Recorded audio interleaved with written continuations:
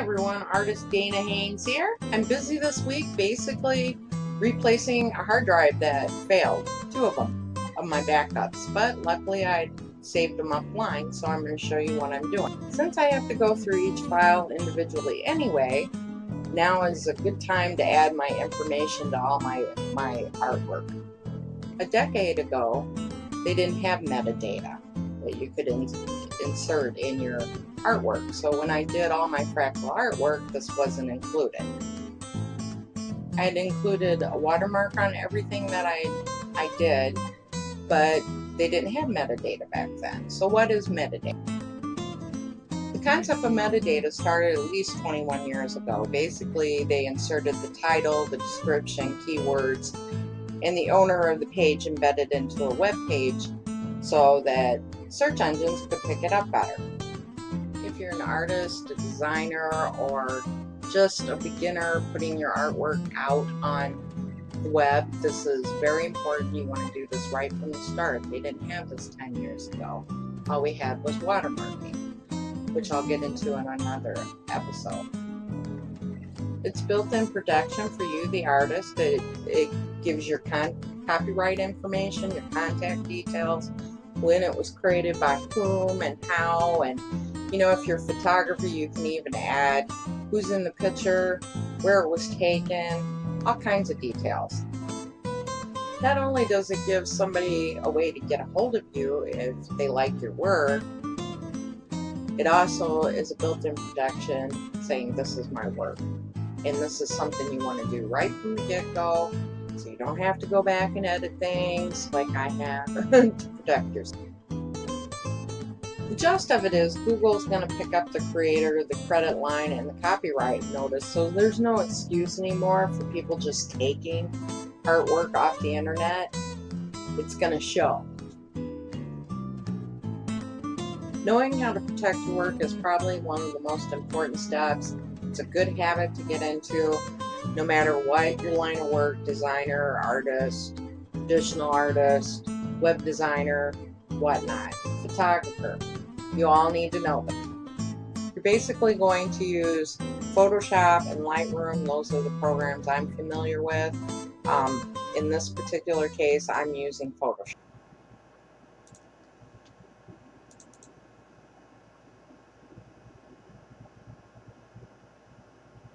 So I'm pulling on my DeviantArt here, and you can see I'm going to go down to my storage here and pull up all my artwork. I have like 1100 something, and you know, 55, 57 pages of artwork on there now stored that I have to download for this database that I lost. So, pulling it up, you know, I have to edit each one. I'm checking the pixels on it, marking it for download. And I'm going to open it up for free download for a few seconds. I haven't offered them normally for free download. Basically, my plans were to make wallpaper and for phones and TVs and computers, so I never offered it that way before. So I'm going to open it up in Photoshop here. I'm going to get rid of this.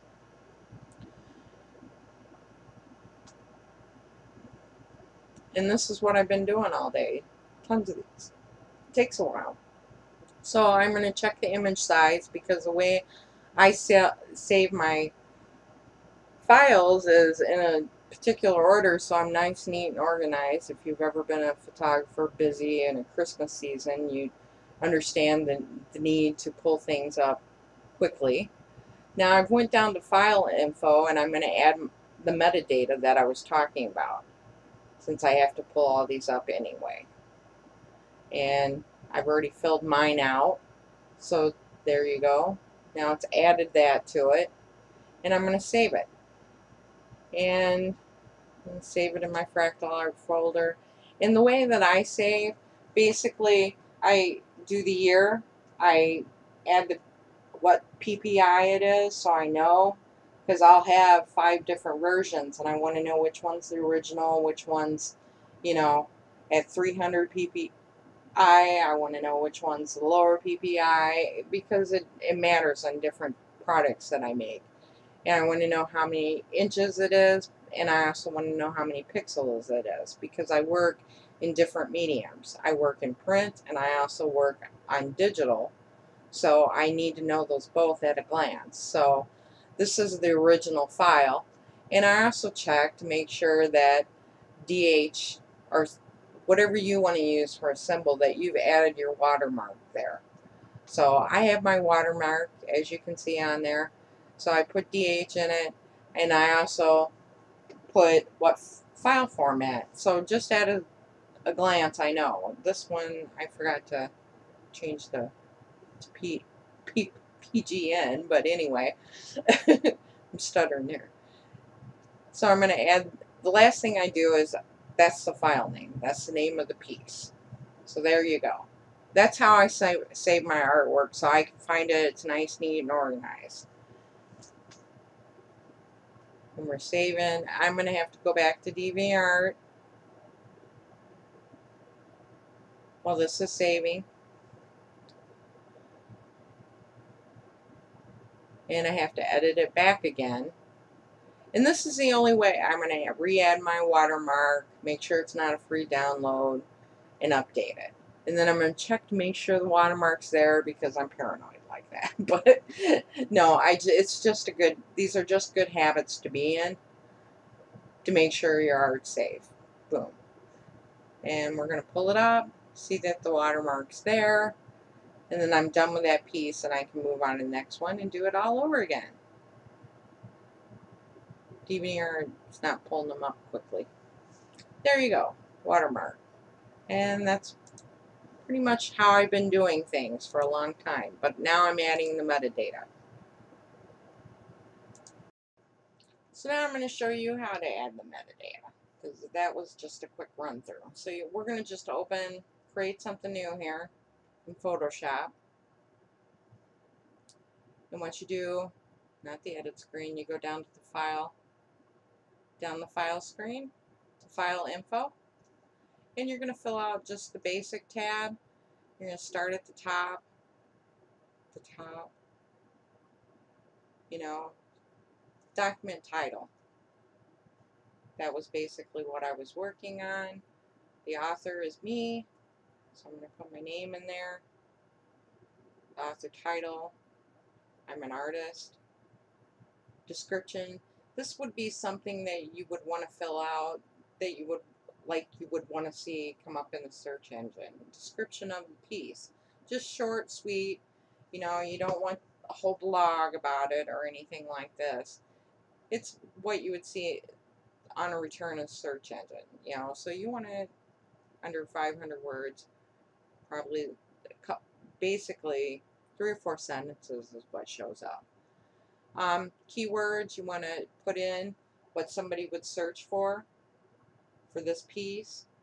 Um, I used artist, artist design. The thing to note about that is you want to put the commas in behind it so it separates it. But basically when it, the image is searched for, either you know in Bridge if you're using Adobe to search on your computer, what you would search for when you were looking for that piece, or you know in search engines what others would look search for to find that piece. That was a red so I would have put red or something like that. So, you know. Basically here I'm getting the copyright licensing URL for to put in it. So that way, you know, if they have any questions, here's the answers. So if they like my work, they can find me to license it. Or if they're just taking it, they got a notice, boom, right off the bat. It's mine. So here you can put in all your camera data. Usually I think this auto pop, that one auto pops because with the D, DS, the newer cameras. I'm stuttering today. So anyway, you can normally put that, the original, and this is what's neat. Everything that I was saving 10 years ago, files that way, you can put in there, this is where I created it, the date I created it, Yes, I'm in the U.S. And, you know, all this wonderful information about it. Who gets credit for it? I worked for a studio for a long time. If I had they'd actually let us use Photoshop, I would have had to put that studio's name in there instead of my own. I was the creator, but they get the credit for it. So depending on how you're doing this is important too. Who you working for, you know? But this kind of information is important. It also helps you pull it up through Bridge on Adobe. And you can, is it, I believe some use this to pass information around from artist to artist when they're working on projects. This is what they were taught, what I was talking about with Google. You know, stuff you need to know. I don't think they're going to hand out your phone number or anything, but if somebody likes your work, you want that in there so they have a way to contact you with your email. You don't necessarily maybe want to put your address in there, but if you have a business location, it's a good idea. Because let's face it, somebody sees your work, they can write, they can get the information from the piece now. You know, instead of hunting you down all over, it's right there. You know, again, date you created it, the year it is, and in my case that's fractal artwork or digital art. Um, not sure what that code is. But again, you can put the GPS data in even. You know, and that's important. You want to show up on Google Maps or you have a picture for Google Maps, that's a good idea. You know, if you're showing doing architecture or something like that. You know, even if you're doing traditional art, and it's of a place or a person, you can put who the actual person is and save information. And it's only going to make your artwork more valuable. The more information somebody has about it. You know, a 100 years, this is going to be so cool. If the, you know, we haven't changed everything all over by then, but you know, you you can still open really old files and stuff like that. So, you know, we're just only going to advance. And I assume the other tabs, audio data, video data, there's stuff that you can put in there pertaining to those creative fields or what it, whatnot. But photography, I thought it was interesting that I could do this. You know, add the forest preserve, show what town I took the picture in. You know,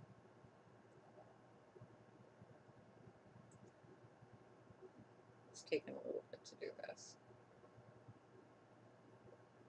And you can just insert it. I'm kind of getting lost on my tabs there, but you can insert multiple things is the point here. So, but the IPTC is is important to Google. You definitely want to make sure at least you can fill out the title, who gets credit for it, and the copyright. Bare minimum, you should be putting that in.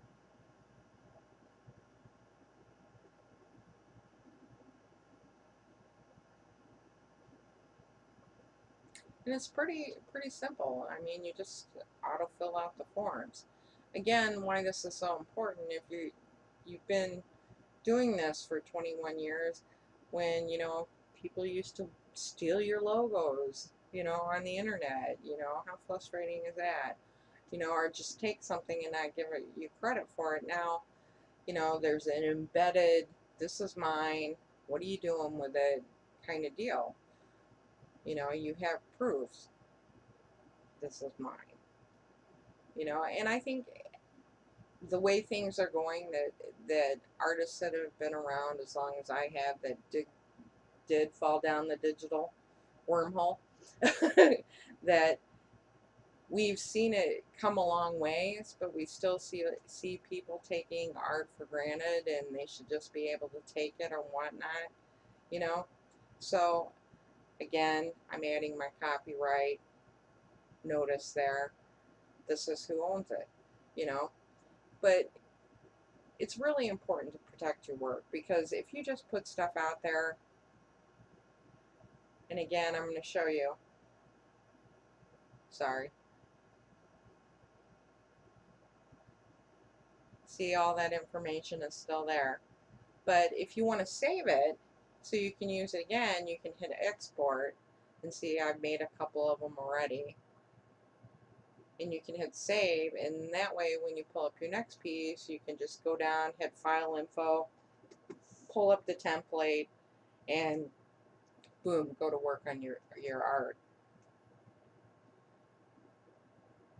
You'll have to pick the correct tab. The first one's for creating one, a new one. The second one's for keep the old stuff plus add this new stuff and the third one, the third pick is for picking one that's already done.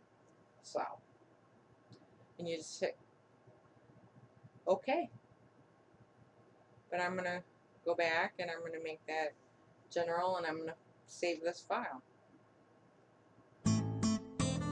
So there you have it folks, metadata in a nutshell and it should be the first step before you ever do anything. It was the first thing I wanted to bring to you about the art business, getting online, what you should do. First step is protect yourself. So for newer artists or those of you that have been in the trenches 20 some odd years and know this is a big deal, get in good habits right from the get beginning. Add your metadata right when you open your file, your artwork, picture of your artwork, your design, your photograph. So if I was a new artist just getting online, this is where I would want somebody to teach me right off the bat where to start, how to get started which direction to go and how to protect myself getting online. And I don't want to get off on a rant or anything, but a lot of these bigger networks profit off content creators, whether designers, artists, cartoonists, what have you, photographers. We post content, their site gets big, they make money, but we're still making peanuts. So I really want artists to protect themselves getting on here because it is a business people make their livings this way. And I don't want you to devalue somebody else because you're you're putting your stuff out there for free or unprotected. And I don't want you to devalue what you're doing. It's important. You're contributing to society. You know, you can make products with these. You can sell them. Even if you don't sell, you're protecting other artists by protecting your work. And at some point, you may decide that you want to sell your work. And, you know, putting, embedding this right off the bat keeps it, the value of it up instead of lowering it. So people can't just take, take, take, take, take like they've done. And I kind of ran about this because I have been doing this 20 years and I have had stuff taken and had to ask people, would you please remove that? Would you please take it down? Would you please delete that? you know, no, you can't use your cell phone in my, my photo studio and stuff like that. So, you know, we have to educate people. So if you're new artists, be aware of it. You know, when you're creating your product images or showing off your stuff on, on social media. Um, if you're an older artist, teach your assistants. You know, if you're a photographer, teach them how to do that. It's really easy to form a good habit right off the bat if that's the way you learn. So this is why I'm starting with this. And it's really hard to break a bad habit once you get going and you'll end up having to re-edit all your stuff. Now I had a database breakdown, that's the reason why I'm doing this. But at some point this is going to set you apart from professional and just people, you know, playing around with Instagram filters or something. So you want to set yourself apart. You want to do this right off the bat and be able for people to contact you. If you found this video useful, please click the like button down there. Let me know. Um, make sure you subscribe to the channel. Ring my bell there so you get more updates for future videos like this. If you have any questions, be sure to comment down below. If there are videos or how-tos you want done in video, again, comment down below. I'm so grateful you're here. I appreciate you watching and we can grow more content like this with your support. Thanks for watching and I'll see you in the next video.